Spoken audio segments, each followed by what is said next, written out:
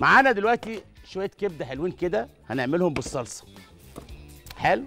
نسخن الطاسة كده جامد ومعانا صلصة طماطم جاهزة. وعايز أعمل كبدة بالصلصة. بس لما أجي أعمل الكبدة أحط في الاعتبار هي دايما الكبدة بتتقدم سبايسي حابين تكون سبايسي ماشي. بس نسأل بقى الإيه؟ الضيوف أهم حاجة ولا يفطروا معانا الصبح الكبدة.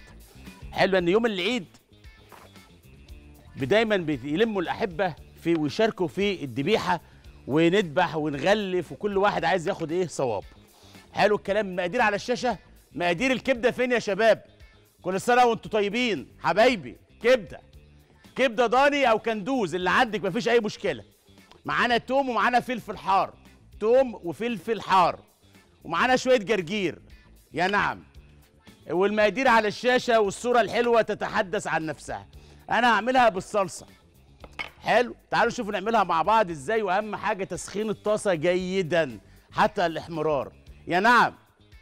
لسان اللسان البقري في الفرن بيتعذب. مع لسان العصفور. عايز تشوفه؟ حاضر. عينيا. اهو. حاضر. أنا طلعته فوق ياخد وش. اللهم صل على النبي. خلينا اطلعه. آه ده أنا موسع له الدنيا هنا. آه بسم الله الرحمن الرحيم. صلي على الحبيب قلبك يطيب. العيد لحمة. هوبا ده. إيه الحلاوة دي؟ إيه الجمال ده؟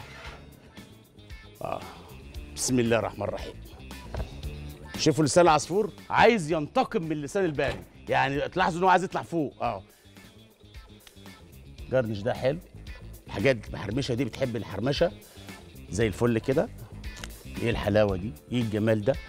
طب نشتغل في الكبدة. أول حاجة بنجيب سكينة حامية. والسكينة دي حامية علشان تنزل على الكبدة كده تقطعها.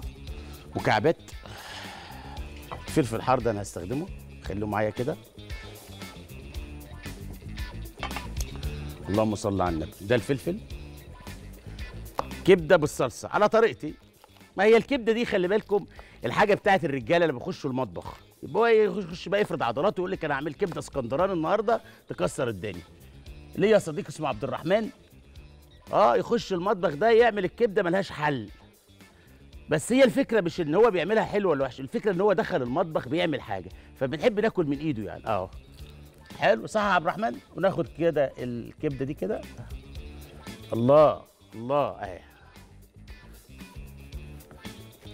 اللهم صل على النبي اهي قطع مكعبات. حلو بالشكل ده كده. ومعانا طاسة شديدة الحرارة. الكبدة بتحب الطاسة السخنة خلي بالكم. ليه بقى؟ عشان نعمل عملية احتباس للسائل بتاعها وفي نفس الوقت تبقى طرية من جوه. حطيتيها في طاسة باردة إيه اللي بيحصل؟ بتنزل الجوس بتاعها وهنا بتبقى إيه؟ طعمها ناشف. ومهم جدا كمان نعمين يا شباب. صح ما أنا لسه بقول عبد الرحمن. آه. وعايز أقول حاجة مهمة جدا. نصيحة مني الكبدة تتغسل وهي سليمة.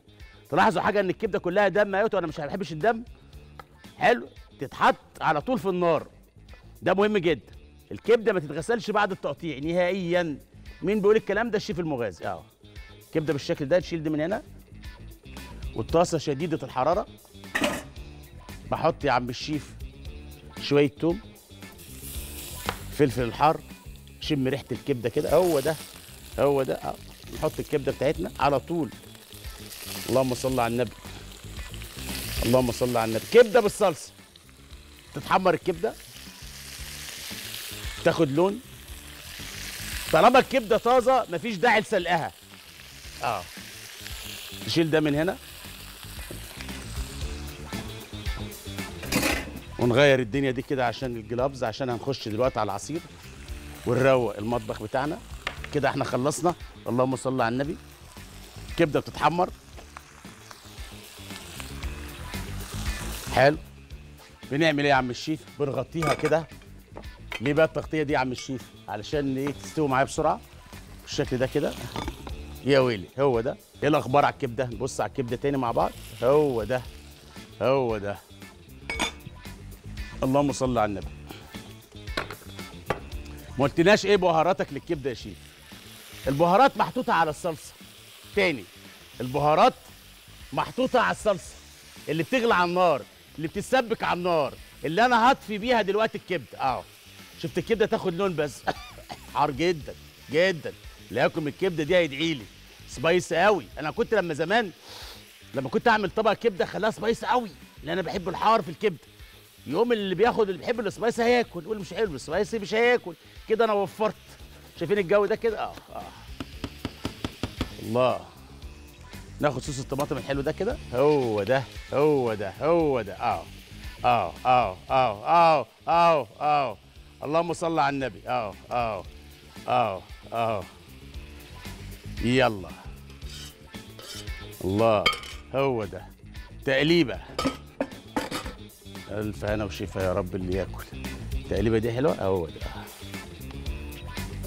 كبدة بالصلصة يا شيف. يوم العيد الصبح. آه حبيتها والله أهي. أهم حاجة الصلصة هنا ما تعملش حموضة. طب عشان الطماطم دي ما تعملش حموضة. نعمل إيه يا شباب؟ حد يقول حد يقول لي آه جيت في وقتك يا حبيبي معلقه سكر. هو ده معلقه سكر. سكر على الكبده يا شيف. آه سكر على الكبده عشان تزداد حلاوة. آه آه ألف أنا وشفا وأسيبها تغلي على النار على ما أعمل السموزي بتاعي. آه آه. أهم حاجة السموزي اللي هيتعمل دلوقتي ده يتعمل يوم العيد الصبح مع صحن بطيخ حلو.